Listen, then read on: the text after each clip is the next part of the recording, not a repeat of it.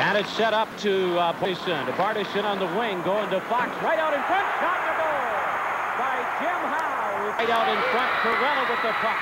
And it comes around over to Norman. Oh, strike one as he didn't give off the shot. Corella does. Back in with a goal. It's scored by Tom Brasky. Leibel in the slot. And it's Howe. Dick Kelly with the puck. Back to the point. Coming cross ice. It goes to Gale with a shot. Kicked out by Gale. Shot to goal by Howe. 44 seconds remaining. And coming back hit over the line, that is Shermack with it, take it away. There's Hill Murray down by a goal, coming in over the blue line. Hurt with his shot. Oh, it hit the pipe shot and a goal on the far. Norman, uh, Berthium with it, and to move it up here's a two on one. It is Rollick in over the line, and Rollick and Norman, the shot and the save, and gathered in by Jerome. It is cleared on the far side to Griffith, to the point, where it's held in. And there's Olander, shot goal! Will the net be empty?